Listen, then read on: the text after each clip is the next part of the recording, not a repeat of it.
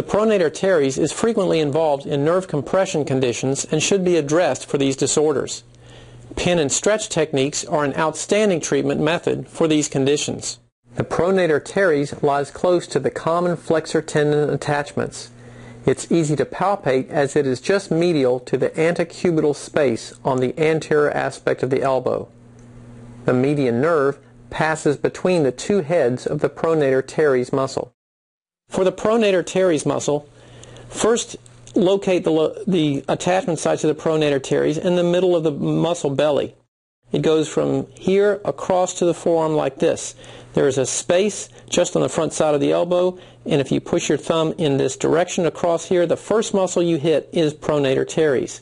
So we'll put the pin on the pronator teres with the wrist in a pronated position. That's the shortened position. We pin the muscle and then stretch and elongate by turning the wrist into supination.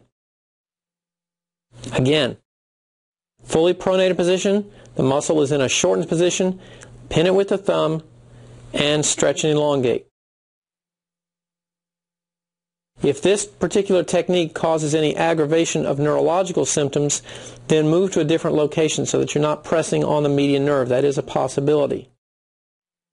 Once again, shorten position, pin the muscle, especially on areas of tightness or restriction, and then turn it into supination, stretch, and elongate.